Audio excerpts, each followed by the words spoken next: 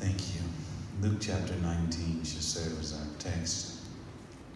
I want to thank those of you that are in church today. I just appreciate looking out and seeing your faces, knowing that God is up to something.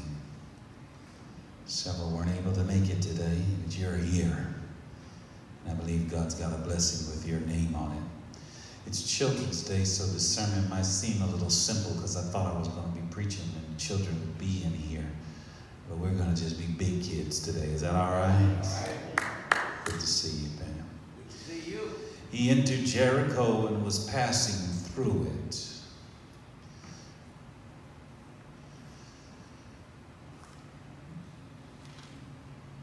Luke chapter 19, he, verse 1, Jesus entered Jericho and was passing through it.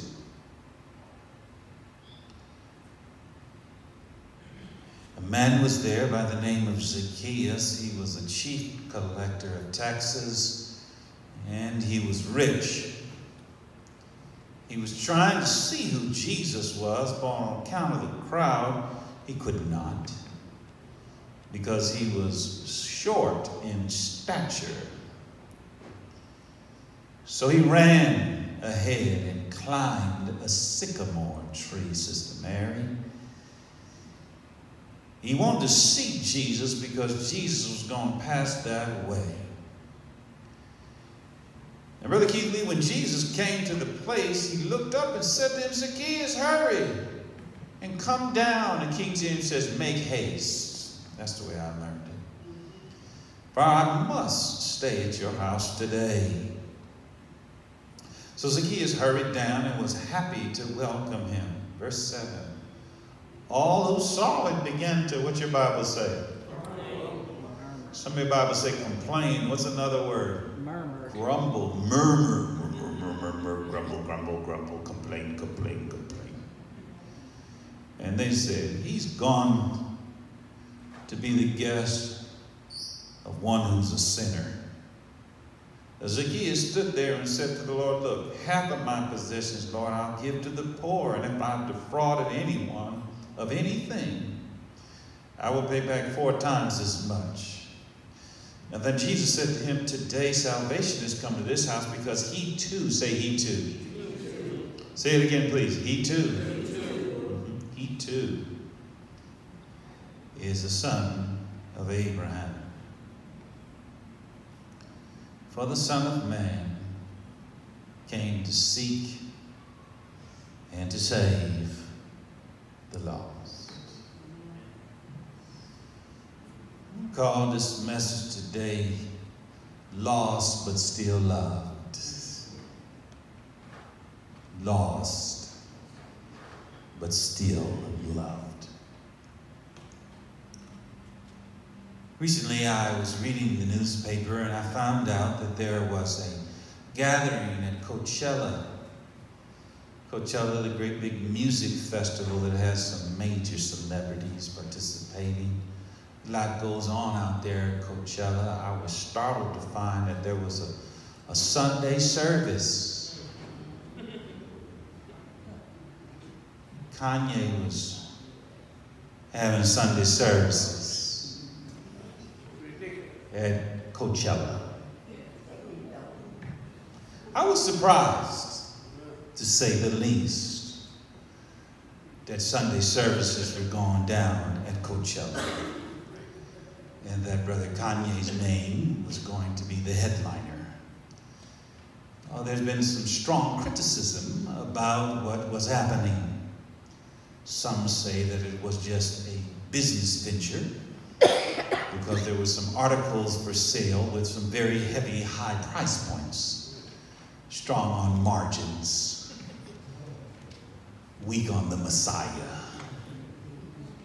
I'm not here to criticize Mr. Kanye West, but I am here to say that I never would have thought that things would go down like they're going down right through here.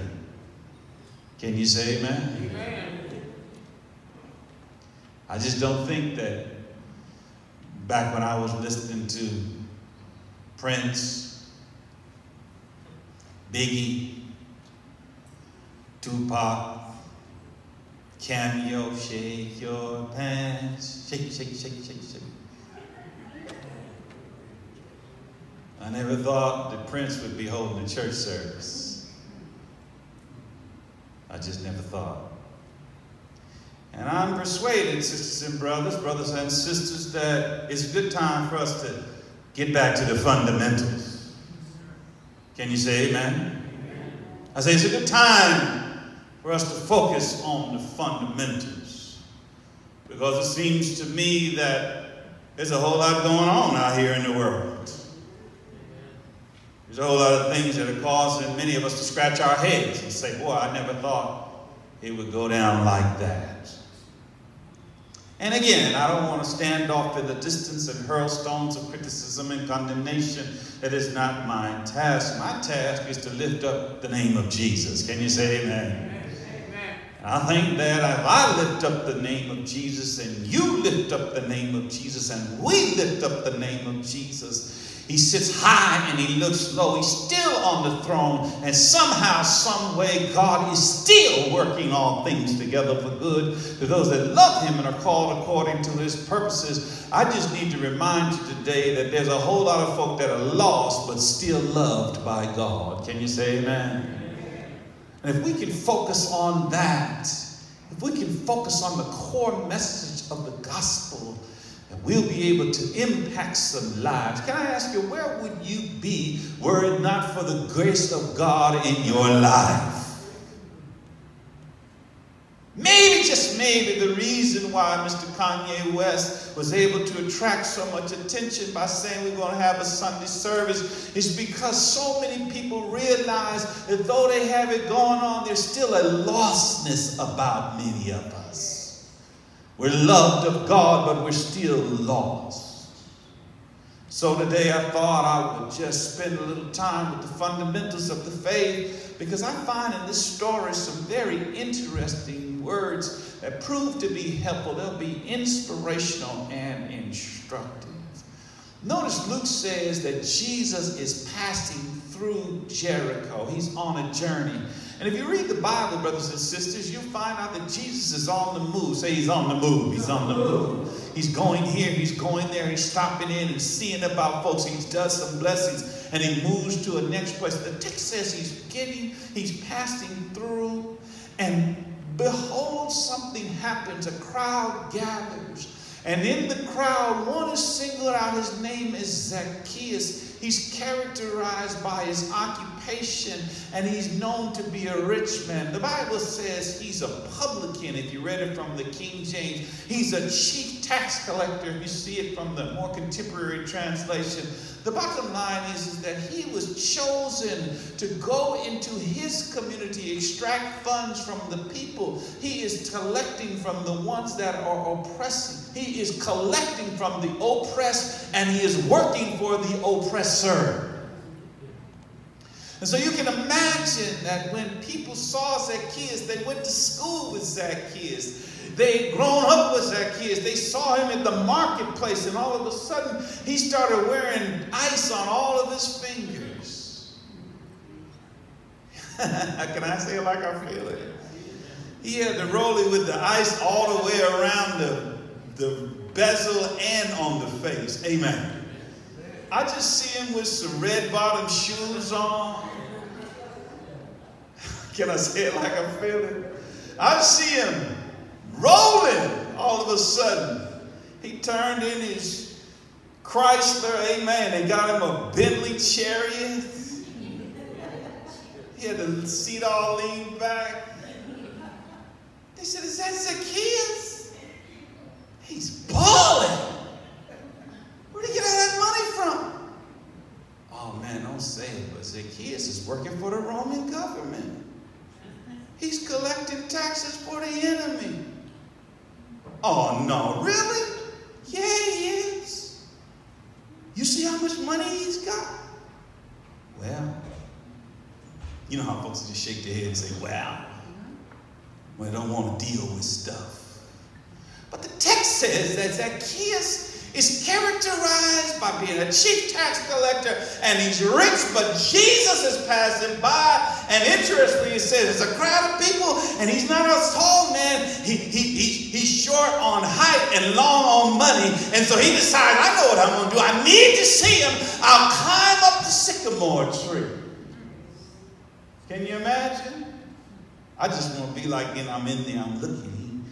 Getting ready. See Jesus coming by. He looked down at his Gucci loafers. He said, I want to scratch up my Gucci loafers. But I'm going to climb the tree because I want to see Jesus. Can y'all just smile at me? Don't be frowning. I'm just trying to have a little fun today. So he climbs up the tree, and there he's standing. He's there in a tree, and Jesus passed by and looks at him. It must have been a fanciful scene. What you doing? Come on down here, man. Make haste. Hurry up. Come down. And not only does he say, come down, he says, I want to go to your house.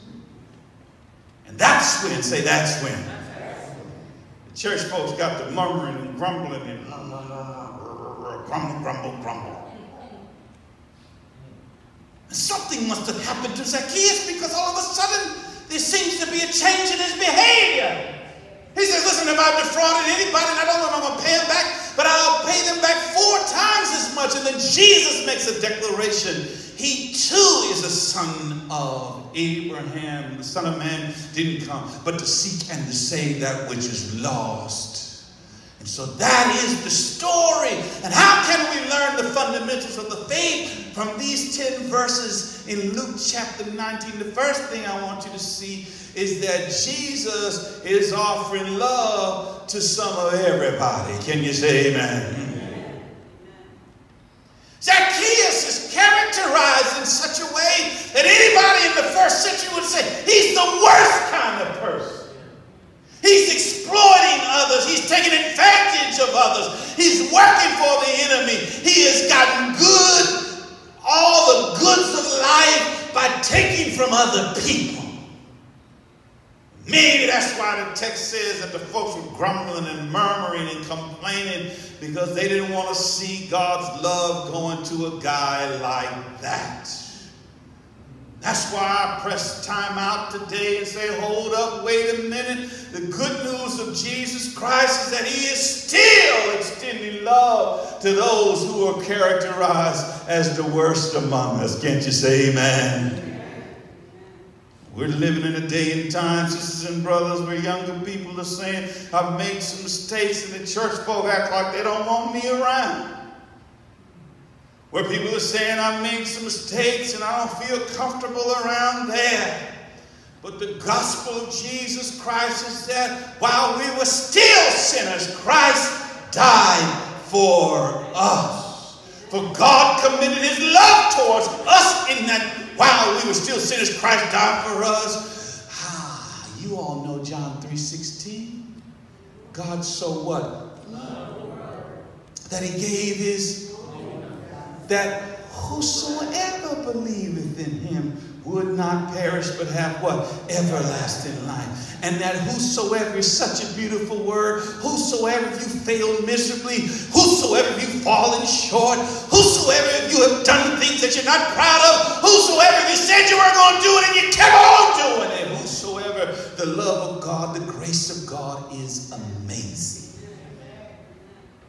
And so the gospel reminder today is that you can be lost and still loved by God. Can you say amen? amen?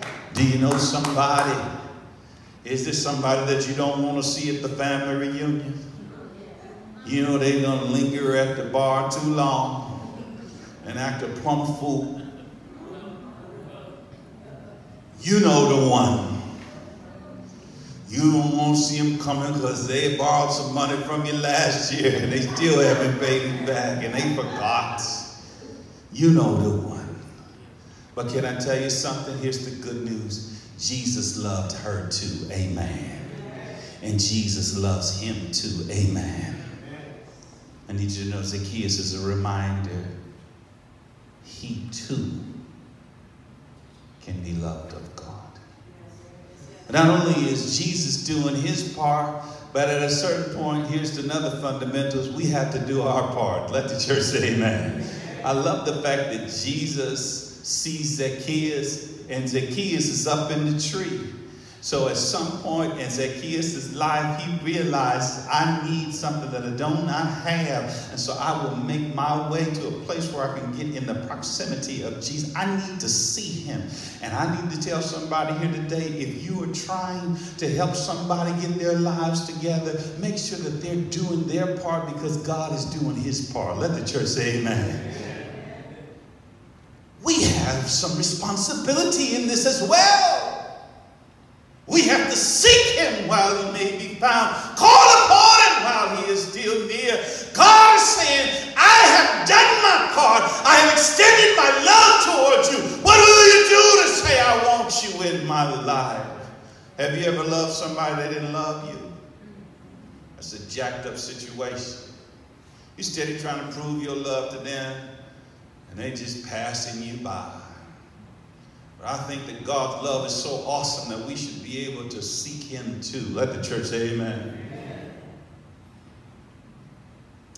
So, fundamental number one, Jesus got love for the lost.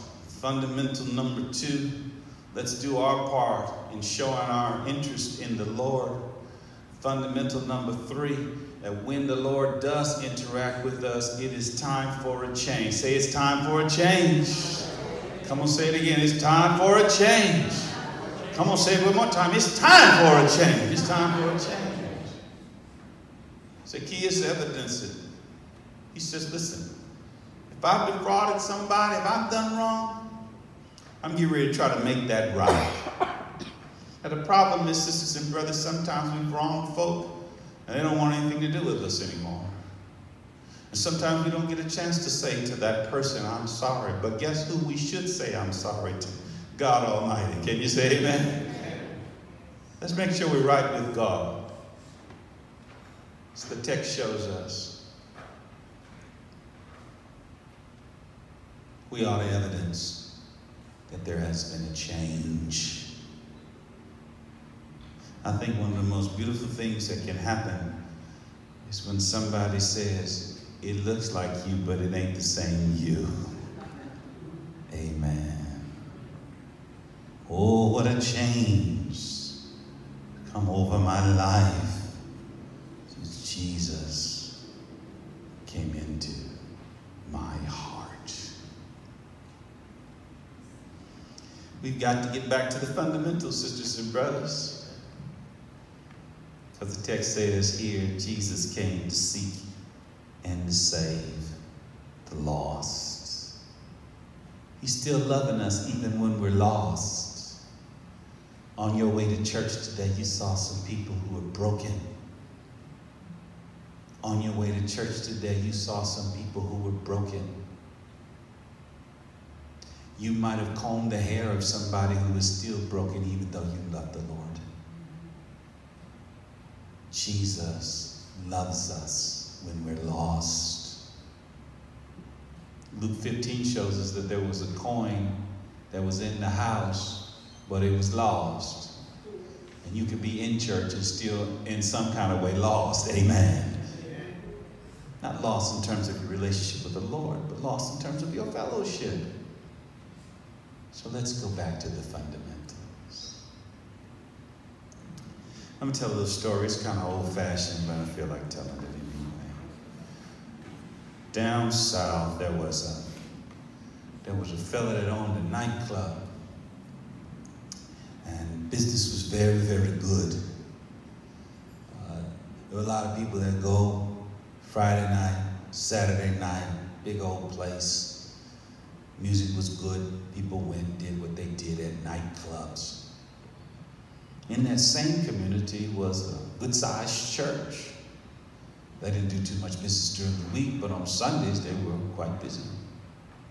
Well, unfortunately, a fire broke out in the church and the church burned down. So they had to determine where they were going to have church the following week. So they had an idea well, the, church, the building that's big enough to accommodate us is the nightclub. So the week passed, when, you know, Friday, folks were getting their party on. Saturday, folks were getting their party on. One fellow went to the club Saturday night and he was partying and he lingered a little too long at the bar. And his cup runneth over. So he went to find some cover because he didn't want to pass out. And they had these tables and they had those skirts around them. So he just felt like if he could just rest himself for a little bit, he just got behind, you know, one of the tables and nobody could see him. And he fell fast asleep. And nobody knew he was under there. The next morning, he was awake and he was trying to shake off that Hennessy. Lord have mercy. He was trying to shake it, man. His head was was trying to clear his eyes. He heard some music. So he pulled up that skirt from under the table and he looked and he squinted. And he's trying to figure it out. He said, Oh, same crowd, different music.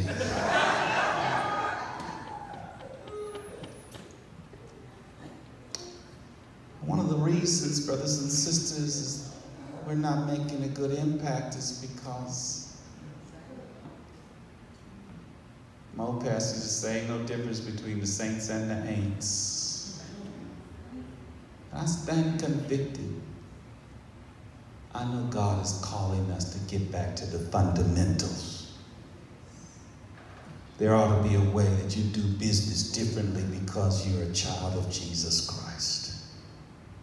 There ought to be a way that you treat folks that are different because you're a disciple of Jesus Christ. There ought to be a way that you carry out your responsibilities in your social gatherings because you have named the name of Jesus. So let's be fundamentally sound. Let's make sure that folks can tell we've been with Jesus. Let's clap our hands one more time for the Lord Jesus.